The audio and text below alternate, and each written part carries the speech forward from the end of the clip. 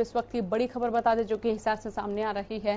हिसार से राहत बड़ी खबर बता रहे हैं। दड़ोली के युवक का कोरोना टेस्ट नेगेटिव आया है और इसके साथ आपको जानकारी दे दें कि दड़ोली के युवक का कोरोना टेस्ट नेगेटिव मिला है और आपको बता दें, एनआरसी लैब में जाँच रिपोर्ट नेगेटिव पाई गई है। रिपोर्ट नेगेटिव होने की स्वास्थ्य विभाग ने पुष्टि की है।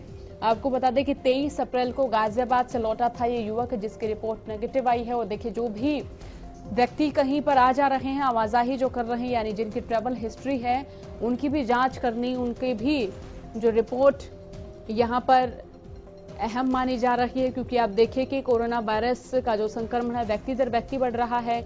जो भी व्यक्ति किसी आवाजाही से लौटे हैं, कहीं से यात्रा करके लौटे हैं, ज़रूरी हो जाता है कि उनकी रिपोर्ट जाँच की जाए, ज़रूरी हो जाता है कि उनमें पता लगाया जाए कि क्या वो संक्रमित हैं या फिर वो नहीं है। ज़्यादा जानकारी के साथ संवाददाता अनूप कुंडू हमारे साथ जुड़ गए हैं। अनूप दड़ोली गाँव के युवक का कोरोना टेस्ट नेगेटिव पाया गया। क्या ज़्यादा जानकारी है आपके पास इस खबर के मार्फत?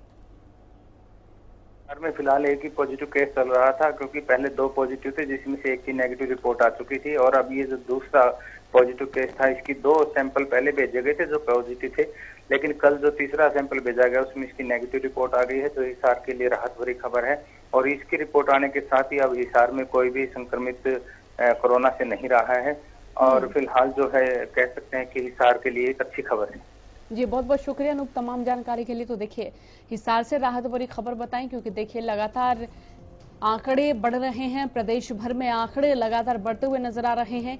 लेकिन इसी बीच देखिए, राहत भरी खबर भी सामने आ रही है, जहाँ पर कई लोगों की रिपोर्ट नेगेटिव आ रही लेकिन कई लोग जो हैं, कोरोना के संक्रमण के चलते अपनी इच्छा शक्ति आत्मशक्ति के ज़रिए कोरोना वायरस को मात देकर सकुशल ठीक भी हो रहे हैं।